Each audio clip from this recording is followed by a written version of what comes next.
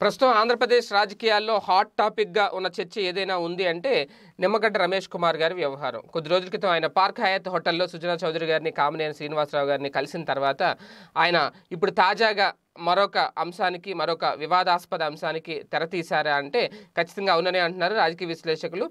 తాజాగా ఆయన ఏపీ గవర్నర్కు ఆయన ఒక లేఖ రాయడం. అది కూడా గతంలో కేంద్ర హోంశాఖ కార్యదర్శికి రాసిన లేఖ తానే రాశాను అంటూ ఆ లేఖలో ప్రస్తావిస్తూ అలాగే ప్రభుత్వం తనని టార్గెట్ చేసింది అంటూ ప్రభుత్వం మీద మళ్ళీ కొన్ని ఆరోపణలు చేయడం ఈ లేఖలో ప్రధానంగా ఆయన ప్రస్తావించినప్పుడు వైసీపీ వర్గాల్లో కూడా ఒక చర్చకు తెరలేపింది. అంటే తాజాగా ఈయన ఎప్పుడైతే నిమ్మగడ్డ రమేష్ కుమార్ గారు ఆంధ్రప్రదేశ్కు గవర్నర్కు తాజాగా ఒక లేఖ రాశారో ఆ లేఖలో చాలా అంశాలు పొందుపరచడం జరిగింది.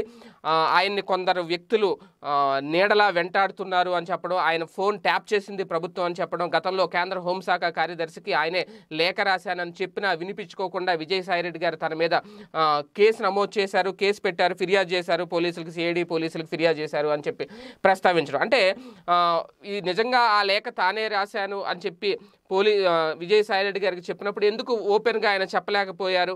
ఓపెన్గా ప్రెస్ మీట్ పెట్టి ఆ లేఖ నేనే రాశానని ఎందుకు ఒప్పుకోలేకపోయారు? నిజంగా ఒప్పుకొని ఉంటే ఇంత సిఐడి విచారణ జరిగి ఉండేది కాదు కదా. ఒకవేళ నిజంగా ఆయనే ఆ లేఖ రాశానని ముందే ఒప్పుకుంటే ఆయన ఒక పెన్ డ్రైవ్లో కాపీ చేయడం అదొక ల్యాప్టాప్లో పెట్టడం ఆ ల్యాప్టాప్ని ఫార్మేట్ చేసాడు తన అధికారిక మెయిల్ నుంచి హోంశాఖకు లేఖ వెళ్ళినా సరే దాన్ని ఈయన ఒప్పుకోకపోవడం చాలా రచ్చ జరిగింది. అదే కనుక చేసుంటే ఇప్పుడు మళ్ళీ గవర్నర్ గారికి లేఖ రాసి ఆ లేఖలో ఆ లేఖ నేనే రాశానని చెప్పి మళ్ళీ చెప్పుకోవడం ఈ పరిస్థితి వచ్చి ఉండేది కాదు కదా. కాకపోతే ఇప్పుడు ఈ సీన్ తెర మీదకు తీసుకొచ్చారు అంటే ఖచ్చితంగా మొన్న జరిగిన ఇష్యూ ఏదైతే ఉందో సుజనా చౌదరి గారిని అలాగే కామనేని కలిసిన ఇష్యూ ఏదైతే ఉందో పార్క్ హయాతోటలో దాని నుంచి ప్రజల దృష్టి ప్రభుత్వం దృష్టి మరలించడానికి ఇప్పుడు తాజాగా ఆయన గవర్నర్ గారికి లేఖ రాసి ఇప్పుడు ఒక వివాదాస్పద అంశాన్ని తెర మీద తీసుకొచ్చారు అనేది వైసీపీ శ్రేణులు ఇప్పుడు ప్రధానంగా ఆరోపిస్తున్నారు సోషల్ మీడియా వేదికగా. అంటే ఎన్నికల కమిషనర్గా ఆయన్ని మళ్ళీ తిరిగి విధుల్లో చేర్చే అవకాశం ఇప్పుడు గవర్నర్కే ఉంది కాబట్టి గవర్నర్ గారు జోక్యం చేసుకోవాలి ఇమీడియట్గా అనేది ఆయన ఆయన రాసిన లేఖ సారాంశం. హైకోర్టు కూడా చెప్పింది ఆయన్ని విధుల్లోకి తీసుకోమని చెప్పిన ప్రభుత్వం తీసుకోవట్లేదు కాబట్టి గవర్నర్ ఈ విషయంలో జోక్యం చేసుకొని మళ్ళీ యథావిధిగా ఆయన్ని ప్రభుత్వం ఆయన ఎన్నికల కమిషనర్గా విధుల్లో నిర్వహించాలి ప్రభుత్వానికి సిఫార్సు చేయాలి అనేది. మరి రాజ్యాంగబద్ధమైన పదవులు ఉన్నారు కాబట్టి ఒకవేళ హైకోర్టు ఆదేశాల మేరకు ఇప్పుడు గవర్నర్ గారు ఏమైనా నిర్ణయం తీసుకుంటారా? ఈ లేఖ మీద స్పందిస్తారా? ఏంటి? మళ్ళీ ఆయన తిరిగి విధుల్లో హాజరుపరుస్తారా?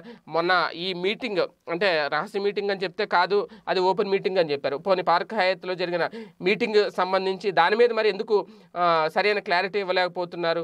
ఒకవేళ తెలుగుదేశం పార్టీ వెనకేసుకొస్తుంది కానీ నిమ్మగడ్డ రమేష్ కుమార్ గారు అక్కడ ఏం మాట్లాడారు ఏం చర్చించారు అనే దాని మీద ఎందుకు బహిరంగంగా చెప్పలేకపోతున్నారు అనే దాని మీద కూడా ఇప్పుడు వైసీపీ నేతల నుంచి వినిపిస్తున్న ప్రశ్నలు. చూద్దాం మొత్తానికి ఇప్పుడు గవర్నర్ గారికి లేఖ రాసి నిమ్మగడ్డ గారు మరొక సంచలనానికి తెరతీశారు దీని మీద ప్రభుత్వం ఏ విధంగా స్పందిస్తుంది ఎట్టి పరిస్థితుల్లో ఆయన ఎన్నికల కమిషనర్గా విధుల్లో హాజరవ్వాలి అనే దృఢ నిశ్చయంతో ఉన్నారు అని చాలా స్పష్టంగా అర్థమవుతుంది. దానికి సంబంధించి ఇప్పుడు గవర్నర్ ఏమైనా జోక్యం చేసుకుంటారా?